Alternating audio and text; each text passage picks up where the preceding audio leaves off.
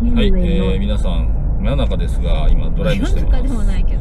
真夜中でもないかな、10時半。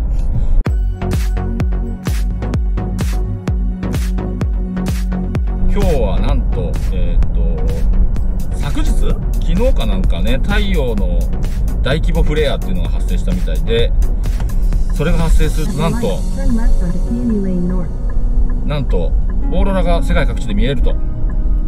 で、えー、今ね、オーロラを見れるかどうかわかんないけど、ちょっと、一か八か。一か八かね、外のあの、ちょっと暗い、あの、方に、あの今ちょっと車を走らせて、えーそこでオーロラをね、見れるかどうかをちょっと、そのネットを見てると、ミネソタ各地で結構見えているということらしいんで、雲が見えるけどな。雲は見えるけど、もうとにかくね、ミネソタ、ミネソタのそのオーロラの、その、Facebook のね、そのグループページっていうのがあるあるんですけど、もう今そこ大盛り上がりだから。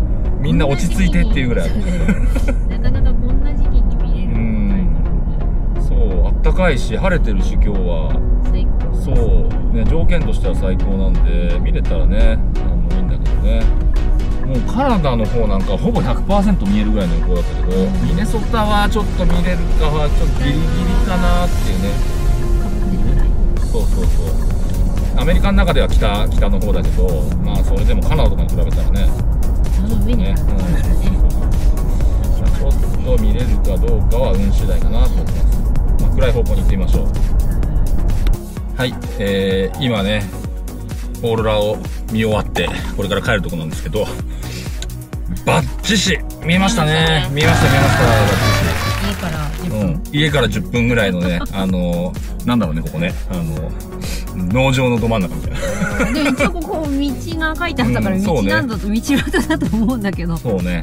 みんな並んでたもん。でもみんな車並んでたし、やっぱりまだ今も車がひっきりなしに通ってるから、やっぱりみんな見に行ってるんだね。そうね。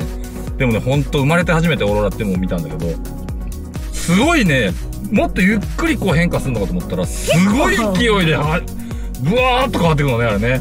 だからね、写真もさ、あの、露光で、もう20秒ぐらいしちゃうと、もう光がベターってなってて、何にもオーロラの形にならない。いだからね、本当に1秒とか、1秒以内で撮らないと、あの、光のカーテンみたいなのが撮れなかった。